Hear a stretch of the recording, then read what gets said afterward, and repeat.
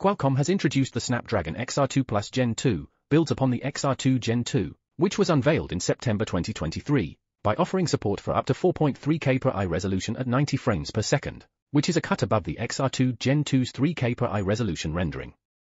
Qualcomm claims that this enhancement allows for more clear visuals in applications such as room-scale screens, life-size overlays, and virtual desktops. It also supports 12 concurrent cameras to handle pass-through video as well as body and face tracking. In terms of performance, Qualcomm states the Snapdragon XR2 Plus Gen 2 boasts 15% higher GPU frequency and 20% higher CPU frequency compared to the Snapdragon XR2 Gen 2. It comes with next-generation Spectra ISP.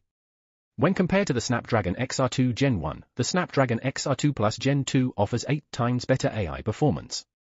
Certain specifications remain consistent with the XR2 Gen 2, such as features like the hardware acceleration for camera pass-through that is said to reduce end-to-end latency to around 12 milliseconds, and Wi-Fi 7 support. The Snapdragon XR lineup is designed for extended reality, XR applications, with Qualcomm also offering an AR family targeted at smart glasses.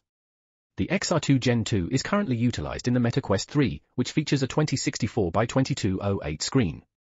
Qualcomm has reported that more than five OEMs are currently developing devices powered by its new chip, this list includes the upcoming headsets from Samsung, Google and HTC. XR2 Plus Gen 2 isn't presented as a successor to the XR2 Gen 2, it's a premium option in the lineup. Thank you for watching Teqo Tech. Let's learn and grow together.